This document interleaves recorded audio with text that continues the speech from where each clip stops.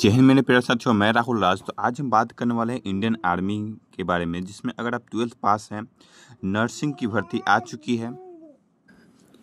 तो अगर आप ट्वेल्थ पास हैं तो इस फॉर्म को अप्लाई कर सकते हैं।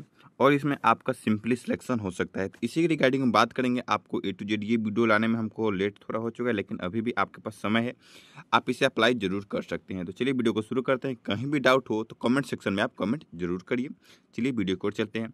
साथ ही आपसे एक रिक्वेस्ट है कि अगर आप भारतीय हैं तो प्लीज़ एक कॉमेंट सेक्शन में जय हिंद ज़रूर लिखें। जय हिंद लिखने में कोई तो फ्रेंड्स, सबसे पहले आपको मैं नोटिफिकेशन दिखा दूँ। ये नोटिस जारी कर दिया है इंडियन आर्मी ने अपने सारे डिटेल्स की ओर। हम इसी की रिगार्डिंग बात करेंगे, आपको क्या क्या डिटेल्स लगने वाले हैं। ठीक है, जैसे कि आपको यहाँ सिंपली देखो क्वालिफिकेशन की बात यहाँ कर रहा है। ठीक है, यहाँ आपका फ़िज़िकल स्टैंडर्ड किस प्रकार होगा? ए टू जेड अगर आपको इस पीडीएफ चाहिए तो मैं आपको मैं अपने व्हाट्सएप ग्रुप में सारा पीडीएफ सेंड कर देता हूँ। वहाँ से आप भी डाउनलोड कर सकते हैं, वरना आपको मेरे टेलीग्राम ग्रुप से भी डाउनलोड कर सकते हैं। अगर जहाँ भी आपको इच्छुक हो वहाँ आप ज्वाइन करके इसे डाउनलोड कर सकते हैं चलिए इसके डिटेल्स की ओर चलेंगे एक एक डिटेल्स आपको हम बात करेंगे, ठीक है? टोटल कितना सीट है, किस प्रकार सिलेक्शन होगा, चलिए। तो फ्रेंड सबसे पहले आपको बता दूँ, ये इंडियन आर्मी के अंतर्गत ये जारी कर दिया गया। ग्यारह मई को ही आपको ये नोटिस जारी कर दिया था। हम किसी कारणवश बिज़ी थे, इसलिए आपको ये वीडियो लेट से आया। लेकिन अभी भी आपके पास दस दिनों का समय है, आप इसे अप्लाई कर सकते हैं, ठीक है? इंडियन आर्मी के अंतर्गत है Indian army nursing officer officer का ठीक है? ये आपने सिंपली आपको दो सौ बीस पोस्टों पर ही आपकी भर्ती होने वाली है। ग्यारह मई से चलने वाला है, इकतीस मई तक आपको ये फॉर्म फिल होने वाला है।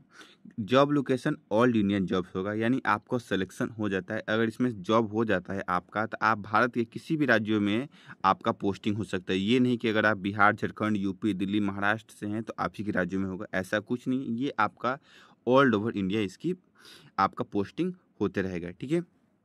एप्लीकेशन जो रखा गया ऑनलाइन मोड भी है ऑफलाइन भी है, ठीक है? लेकिन हम, मैं बताऊँगा आपको कि आप ही ऑनलाइन ही अप्लाई करें ऑफलाइन के चक्कर में ना पड़े, ठीक है? आइए वीडियो को और आगे ले चलते हैं डिटेल्स की ओर। तो अब बात करते हैं नीचे ग्यारह मई को से शुरू हो जाएगा, इकतीस मई तक लास्ट डेट है। अब इसकी रैली की जो डेट रखा गया, वो आपका तीन जून से लेकर बारह जून तक ये आपका रैली चलने वाला है, जिसमें आप अटैम्प्ट कर सकते हैं। आइए आगे की ओर चलते हैं।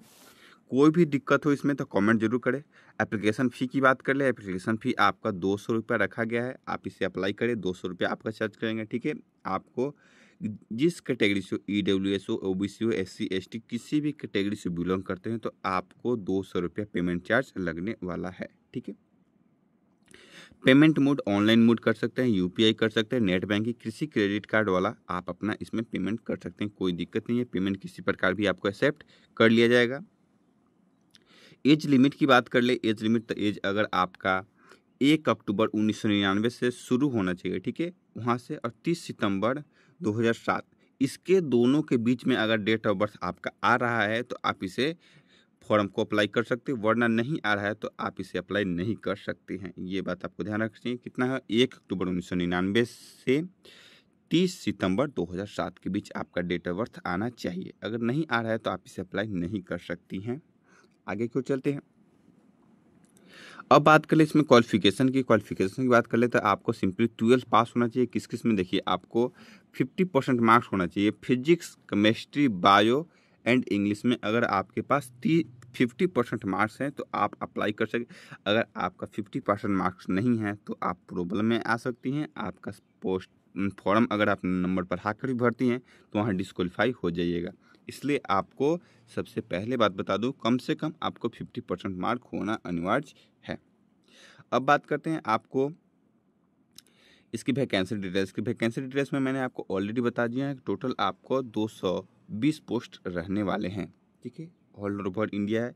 आपका सबसे पहले इसमें क्या क्या से सिलेक्शन प्रोसेस रखा गया, इसके रिगार्डिंग बात कर ले तो सबसे पहले आपका जो ऑनलाइन टेस्ट होगा, वो आपका C B computer based test होने वाला है।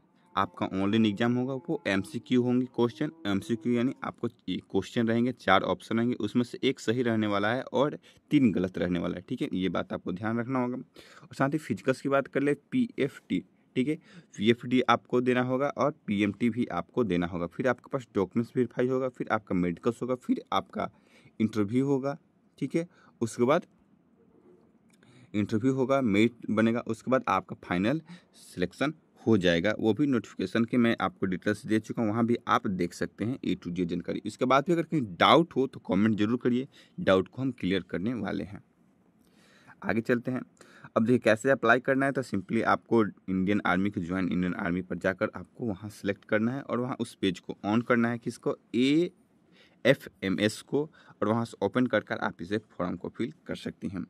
तो ये डिटेल्स मैंने आपको दिखला दिया और मैंने आपको क्या क्या डॉक्यूमेंट्स ज़रूरत पड़ता है, ये भी बता दो। टेंथ का आपको सर्टिफिकेट होना ट्वेल्थ का भी सर्टिफिकेट होना चाहिए और कितना आपके पास हायर क्वालिफिकेशन उसका भी आपको लगाना होगा।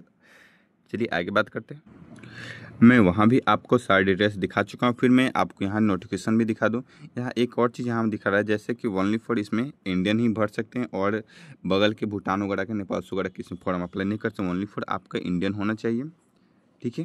क्वालिफिकेशन मैं बता चुका हूँ। आप किस कैटेगरी से बिलोंग करते हैं, वो भी आपको सेलेक्ट करना होगा। और साथ ही बता दूँ, अगर आपके पास एनसीसी सर्टिफिकेट है तो आप ज़रूर लगाएँ, जिसमें आपको बेहतर छूट मिलेगा। Only for N C certificate वाले को छूट मिलेगा। बी और ए वाले को नहीं, यहाँ ये डिटेल्स कर दिया गया है।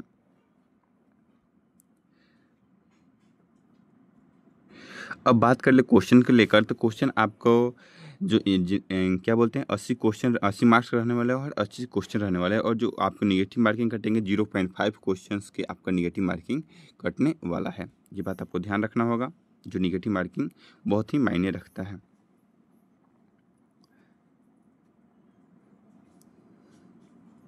लगभग मैंने आपको सारी डिटेल्स क्लियर कर दिए हैं। इसके बाद भी कहीं अगर डाउट हो तो कमेंट सेक्शन ज़रूर कमेंट करें। जब तक ले जय हिंद दोस्तों बंदे मातरम।